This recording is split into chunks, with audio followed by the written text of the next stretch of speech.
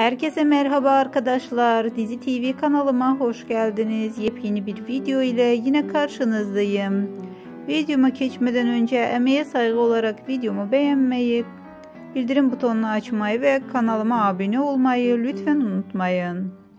TV8'in sevilen dizilerinden olan başrollerinde İbrahim Çelikkol ve Demet Özdemir'in rol aldığı Doğduğun Ev Kaderindir dizisi bu akşam saat 20'de hayranlarıyla buluşacak. Dizinin yeni bölümünü merakla bekleyen hayranları için dizinin yeni bölümünden muhteşem bir görüntü paylaştım arkadaşlar. Ve dizinin yeni bölümünden gelen fotoları bir araya getirerek sizler için yepyeni bir video hazırladım.